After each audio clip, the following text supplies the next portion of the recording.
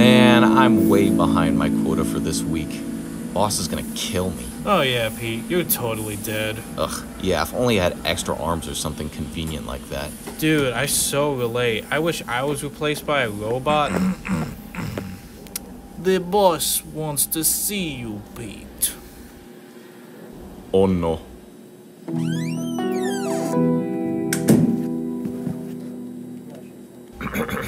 Do you have any idea how far behind you are on your quota?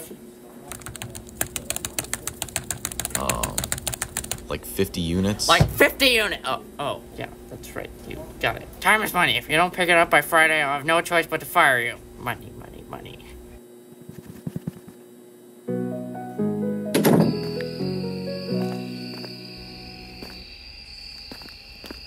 Man, now what?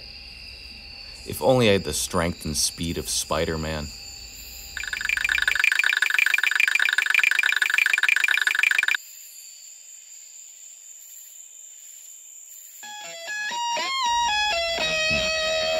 Well, I guess I have nothing to lose. Ouch!